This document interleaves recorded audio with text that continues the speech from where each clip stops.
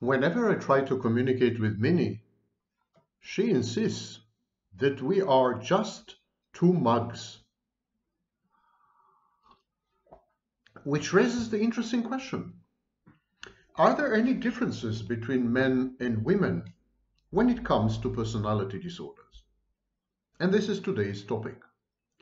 Are there any differences between men and women? And are there any differences between the same gender with the same disorder? For example, borderline women and borderline men, but also borderline women and narcissistic women. So are there gender differences inside the same diagnosis and are there gender differences between diagnoses? And so before I go there, tomorrow Richard Grannon and I are going to launch a new event intended to torture you even more than we had done in the past few years. It's a joint questions and answers session. You're going to ask the questions and we are going to try to provide the answers. And even when we don't know the answer, we're going to pretend that we know the answer. We're going to fake it till we make it. If you don't believe me, join us tomorrow. So there's a link in the description. Click on the link and join the studio. You'll be able to post questions we won't be able to answer all your questions. The event will be limited to two hours, but it'll be, it will be a joint event. The inimitable Richard Grannon and the horror show, Sam Vaknin. Don't miss it for the world. Resign your job, leave your family, divorce if you have to, travel far and wide. Just be with us tomorrow. And as promised, we will get straight to the issue of gender and personality disorders. Allow me just to find my text. Here it is. The first important thing to understand is that the variation, the intra, intra-diagnostic variation is higher than the inter-diagnostic variation. Now, that's the kind of thing that academics likes, like to say because they know that no one will understand the word and that makes them feel superior, omniscient, and godlike. Intradiagnostic variation simply means um, variation between diagnoses. So, for example, borderline woman versus narcissistic woman. They are both women. But what is going to trump, excuse me for the expression, what is going to trump what? Is gender going to tr trump diagnosis or is diagnosis going to trump gender? Intra-diagnostic variation between diagnoses. And then there is inter-diagnostic variation. For example, um, borderline women versus borderline men. They both share the same diagnosis, but they have different, a different gender. Well, until recently. Anyhow, it seems that intra-diagnostic variation the variation between diagnoses is higher than interdiagnostic variation. To translate this into uh, colloquial English, a borderline man would be almost the same like a borderline woman. A narcissistic man would be almost the same like a narcissistic woman. But a borderline woman would be different to a narcissistic woman. She would also be different to a narcissistic man. And a narcissistic woman would be different to a borderline woman, and she would also be different to a borderline man. Got it, Shoshanim?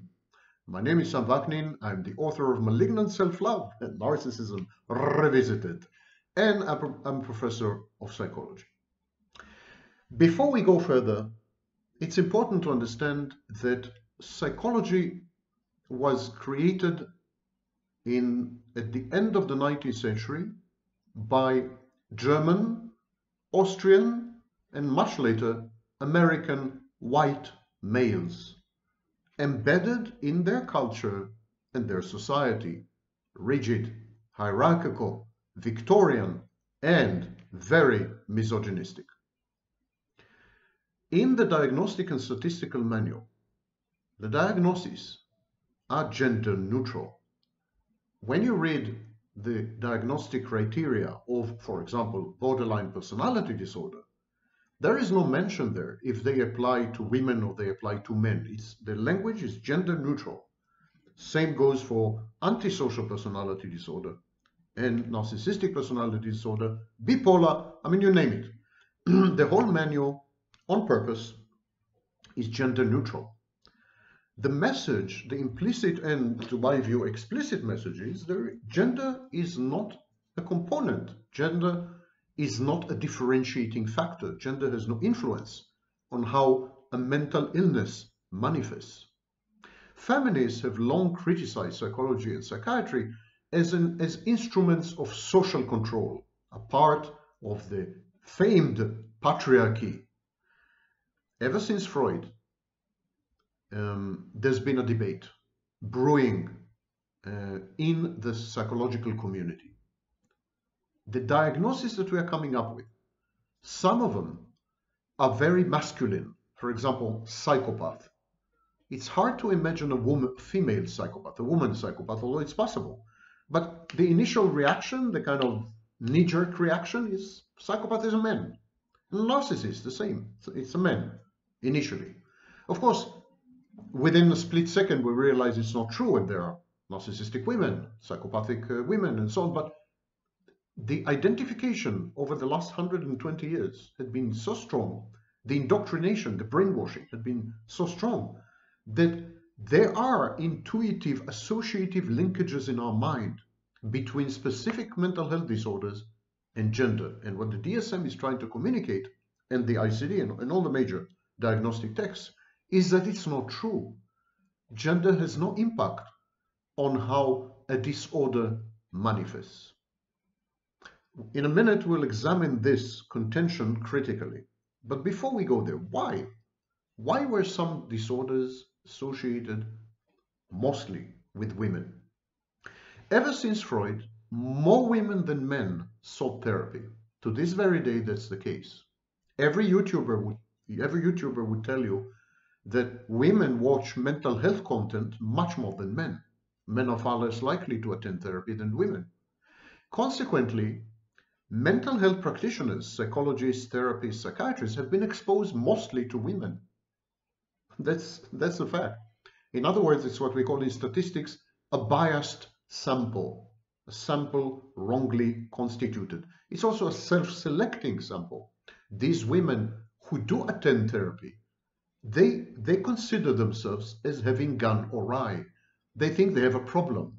So when they, when they approach mental health practitioners, these women would tend to communicate that something is wrong with them, with the women, not, not with the practitioner.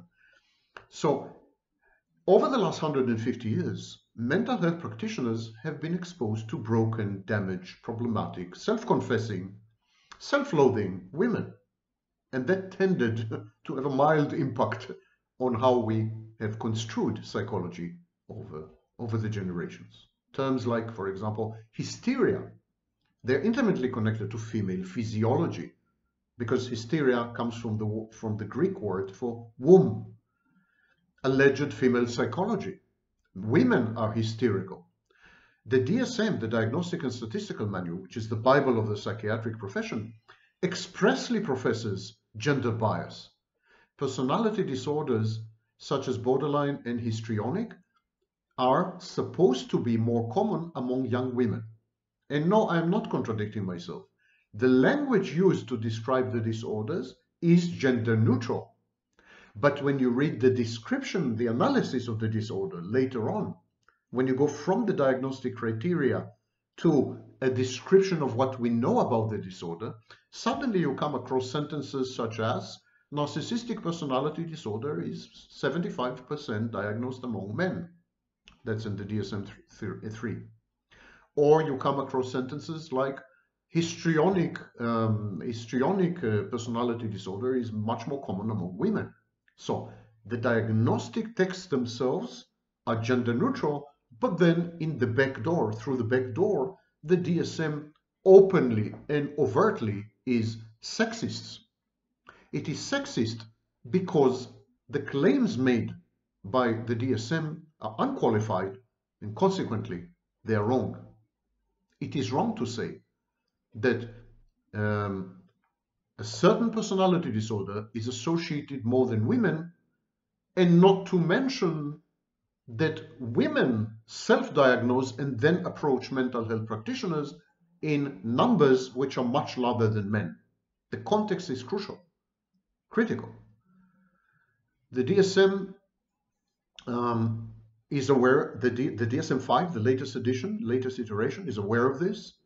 And they have tried to balance the scales. So for example, they changed the text from 75% of people with narcissistic personality disorder are men. They changed it, and now it's 50 to 75% are men, etc., etc. They um, in they've changed the language in many many um, diagnostic criteria in narcissism and, and the description narcissistic personality disorder, antisocial personality disorder, schizotypal, obsessive compulsive, schizoid, paranoid, and so on and so forth. And they have alluded that these are more common among men, but uh, possibly this is the outcome of misrepresentation in clinical settings. Why is this gender disparity, even behind the scenes, even through the back door? There are few possible answers. Maybe personality disorders are not objective clinical entities, for example, like tuberculosis or cancer. Maybe personality disorder are, disorders are culture-bound syndromes, syndromes that reflect societal and cultural mores, edicts, and expectations. In other words, maybe they reflect biases, maybe they reflect value judgments embedded in a specific context time in history and place on the globe. Some patriarchal societies, for example, societies where men dominate, are also highly narcissistic. They emphasize qualities such as individualism and ambition, often identified with virility, aggression. The preponderance of pathological narcissism among men can easily be attributed to the expectations of society from men, to how society molds boys into men in the twin processes of socialization and acculturation. We may be breeding narcissism among men, but it doesn't mean that men are biologically or psychologically predisposed to being narcissists more than women do. Women, on the other hand, are widely believed to be emotionally labile, clinging, needy, dependent, and this is why most borderlines and dependents happen to be female. This is not biology. This is not even psychology. This is culture. This is society. And as culture and society are changing, and women have become a lot more masculine, we have seen an explosion of diagnoses such as narcissistic personality disorder and psychopathic psychopathy among women. Today, 50% of all narcissism diagnoses are female and 50% of all borderline diagnoses are among men. Upbringing and environment, the process of socialization, cultural mores, expectations, dictates on how to behave, sexual scripts, social scripts, they all play an important role in the pathogenesis of personality disorders. These views are not fringe views, by the way, what I'm saying right now. There are serious scholars, for example, Caplan and Pantony, who claim that the mental health profession is inherently sexist. And then again, we cannot completely ignore the genetic and to some extent physiological difference between female bodies and male bodies. And if we, we are not dualists, if we believe that the brain has something to do with psychology, that they're one and the same in effect, the mind and the brain are one and the same, then it raises questions. Genetics may be at work, physiology may be at work. Men and women do differ. They do differ as far as their bodies go. Does this mean that this difference is translated into the mind? It may account for the variability of the occurrence of specific personality disorders among men and women. It's another hypothesis which has, has to be tested. Some of the diagnostic criteria are ambiguous uh, or, or even considered to be normal by the majority of the population. So you could read you could read a lot of diagnostic texts in the likes of the DSM or even in college textbooks, where if you ask the majority of people on the street, they would say nothing's wrong with that. I do that. My neighbor do does that. My wife does that. My children do that. I, I have no problem. My boss does this. I mean, I have no problem with it. Consider, for example, what the DSM says about histrionic personality disorder. The DSM says that histrionics consistently use physical appearance to draw attention to themselves. No kidding. Who doesn't? Women and men today are doing this. Who doesn't in Western society at least? Why, when a woman clings to a man, it is labeled codependency or borderline. But when a man relies on a woman to maintain his home, take care of his children, choose his attire, prop his ego, soothe him and comfort him, this is not lability. This is not clinging. This is not codependency. It's companionship. Walker in 1994 analyzed texts, texts, psychological texts, and had shown this double standard, this sexism. Female behavior is always characterized negatively the same identical behavior on the part of men is characterized charitably, positively. The less structured the interview, the more fuzzy the diagnostic criteria, the more the diagnostician relies on stereotypes, according to Whittaker in 1998. So let's examine one, one case. I've received a, I've received a, a question whether borderline women differ to narcissistic women, and I'm going to dedicate a special video to that. But today I would like to discuss the differences between female narcissists and male narcissists. Everyone and his dog seem to, to claim that female narcissists are very different to male narcissists. They imply in the background that they are more vicious somehow, more passive aggressive, and so on and so forth.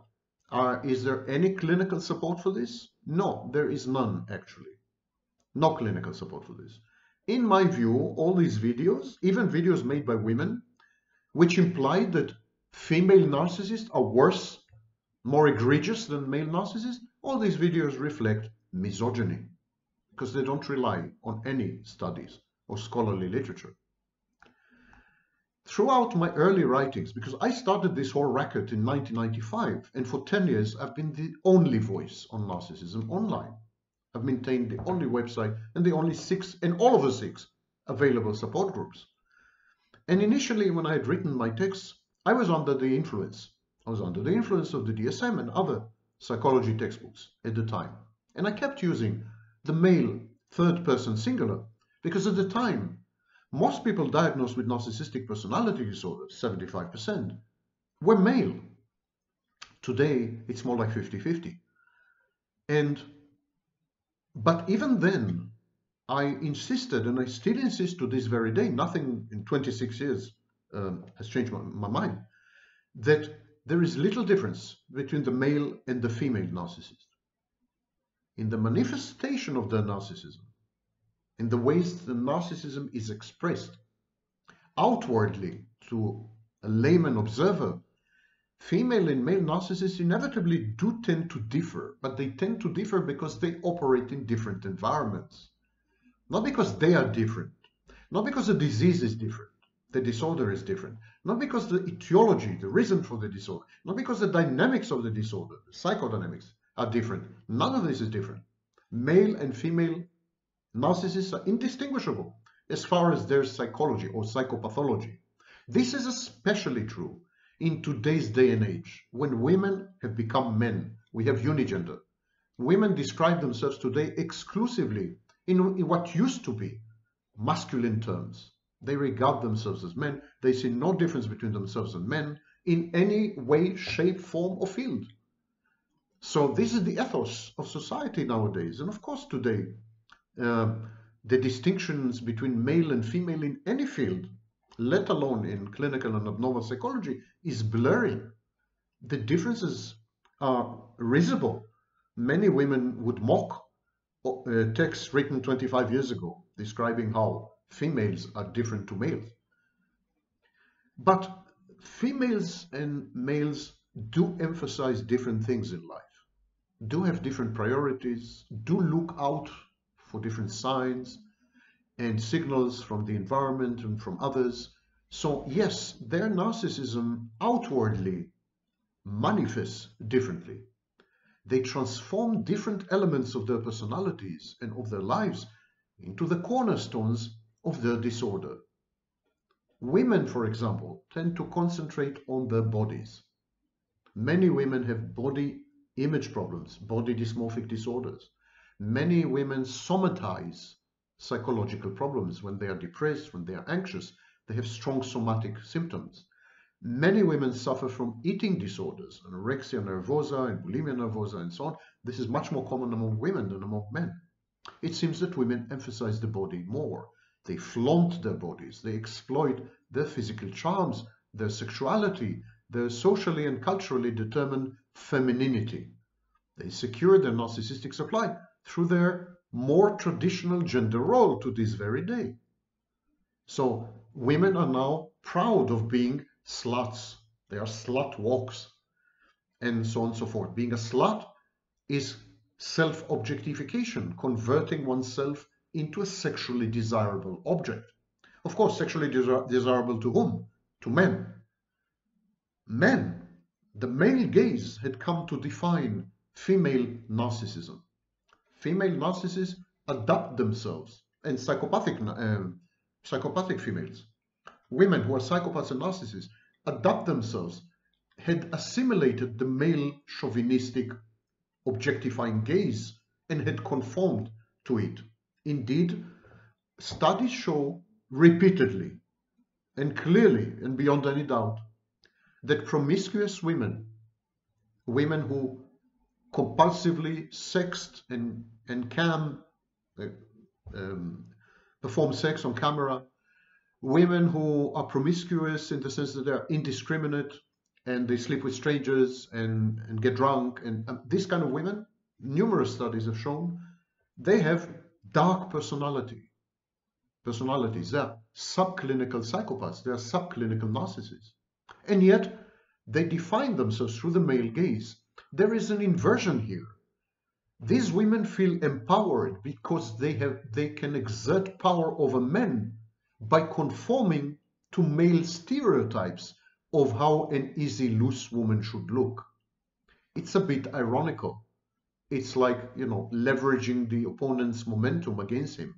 It's like these women are saying, okay, that's the way you want us, sluts, you know, scantily dressed, promiscuous, we're going to be this way. But by being this way, we're going to gain power over you. This is going to empower us.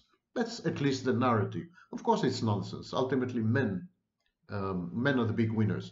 But this is an example of how female narcissism and female psychopathy manifest in a uniquely female way which conforms to conservative traditional gender roles actually.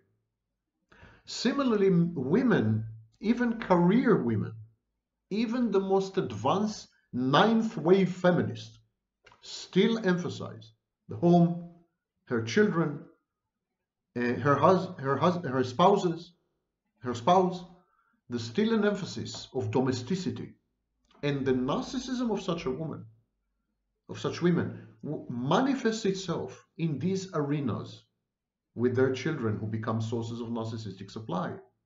With a home, she's competitive against other women uh, with her wardrobe, her possessions, her home, material goods, and so on and so forth these women would tend to choose careers which reflect on their grandiosity. They gravitate towards careers that enhance grandiosity and expose them to an admiring audience.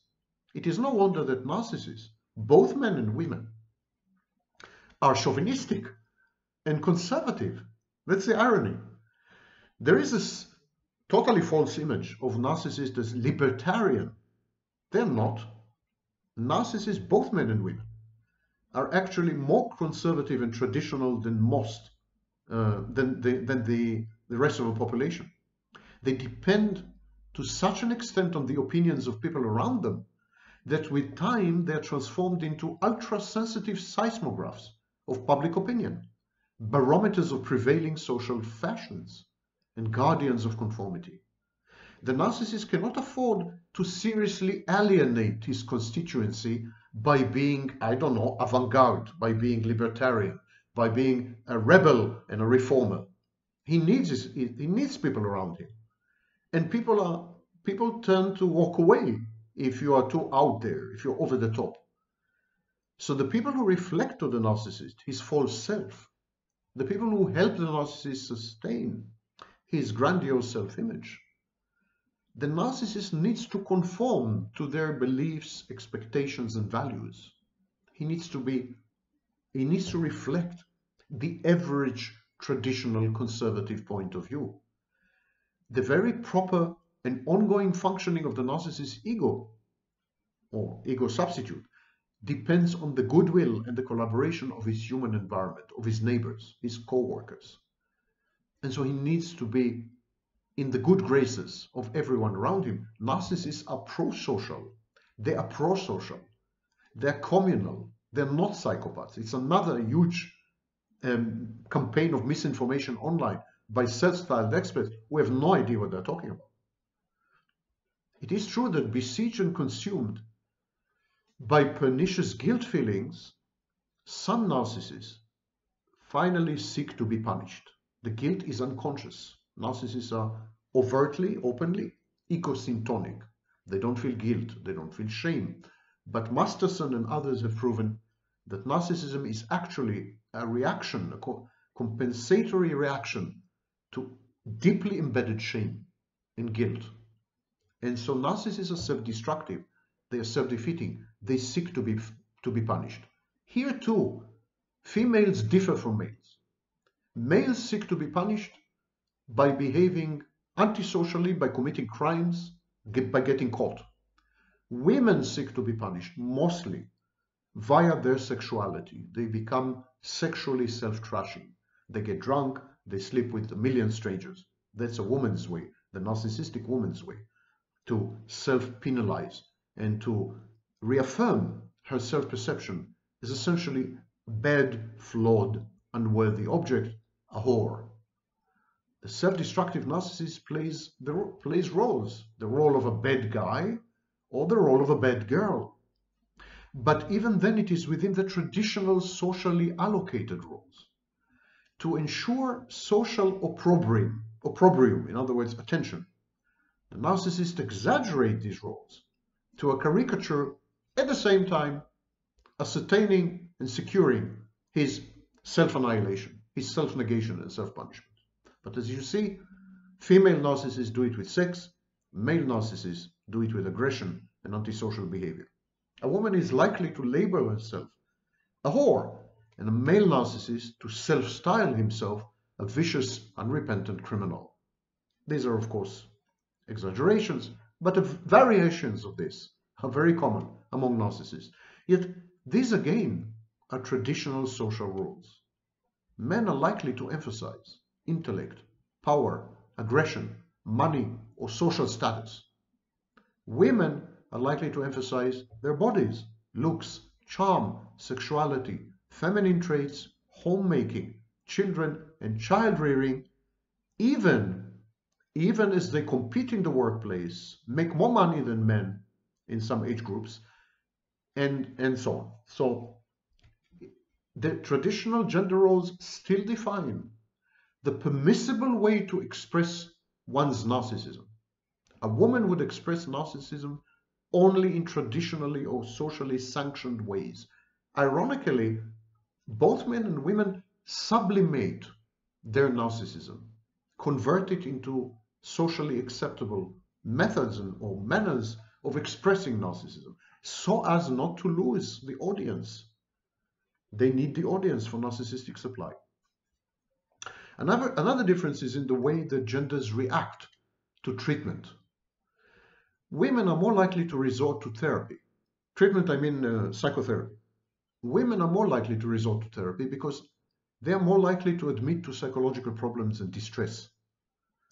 But while men may be less inclined to disclose or to expose their problems to other people, that's the macho men thing, it doesn't necessarily imply that they are less prone to admit it to themselves. Women are also more likely to ask for help than men. Men don't ask for help. Men don't cry. And yet, the prime role of narcissism must never be forgotten. The narcissist uses everything around him, everyone around him, to obtain his or her narcissistic supply. Children, for example. Children happen to be more attached to the female narcissist, to the mother, because of the way that society struct structures uh, the fact that women are the ones who give birth. For some reason, because women are the ones to carry to term and give birth, society gives them custody over the children in the majority of cases and assumes that almost automatically the children should be with the mother. So there is this linkage, unbroken linkage, mother, child, child, mother, mother, child. So female narcissists would succumb to this unwritten social rule or to this even legal more.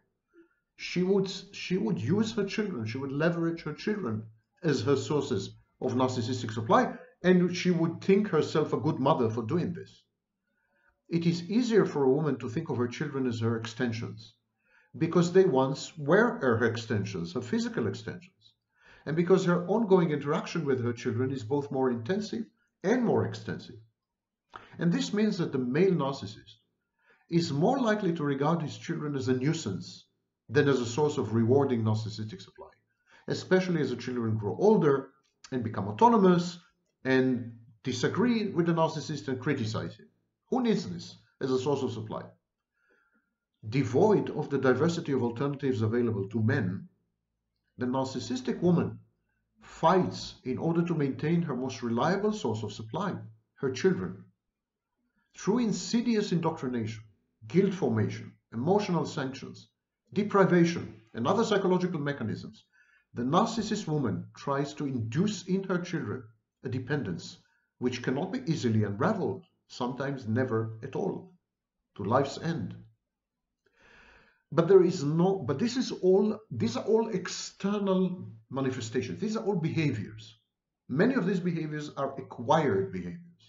And many many women narcissistic women no longer conform to any of this. They remain single they remain childless they have a career and they don't have a home.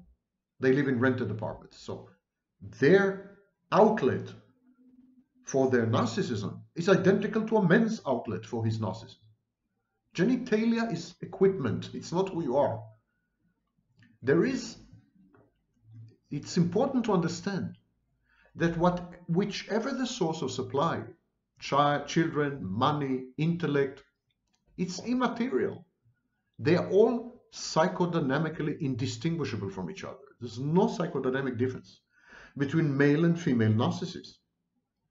The only difference is in choices of narcissistic supply. There are mental, there are mental disorders which afflict one sex more than the other, or at least more often. And this is to do with hormonal or other physiological dispositions, with social and cultural conditioning through the socialization process, and with role assignment, role assignment through gender differentiation process.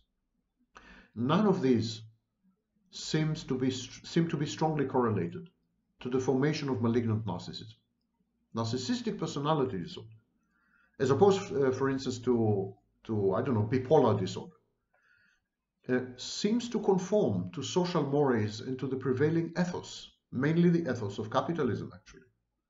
It's not an accident that capitalism is on the rise, and so is narcissism. Social thinkers like Christopher Lasch speculated that modern American culture, a narcissistic, self-centered culture bordering on psychopathy, increases the rate of, uh, the rate of incidence of narcissistic personality disorder. Kernberg himself said the following, the most I would be willing to say is that society can make serious psychological abnormalities, which already exist in some percentage of a population, seem to be at least superficially appropriate. Another quote from the literature. It's from the article Gender Differences in the Structure of Narcissism, a multi-sample analysis of the Narcissistic Personality Inventory. It was authored by Brian Tschanz, Carolyn Morf, Charles Turner, and it was published in Sex Roles, a journal of research, in May 1998. And it said, uh, I'm quoting, specifically, past research suggests that exploitive tendencies and open displays of feelings of entitlement will be less integral to narcissism for females than for males. For females, such displays may carry a greater possibility of negative social sanctions because they would violate stereotypical gender role expectations for women, who are expected to engage in such positive social behavior as being tender, compassionate, warm, sympathetic, sensitive, and understanding. In females, exploitativeness entitlement is less well integrated with the other components of narcissism as measured by the Narcissistic Personality Inventory. Components such as leadership authority, self-absorption, self-admiration, and superiority or arrogance.